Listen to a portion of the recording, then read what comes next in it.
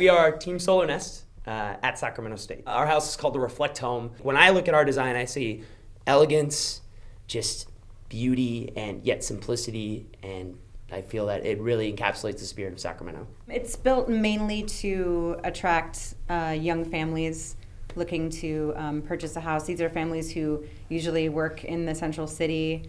Um, they're looking at neighborhoods that surround the central city. Um, everyone typically thinks of solar panels as uh, just a big sheet you put on the roof, or you can maybe make an overhang.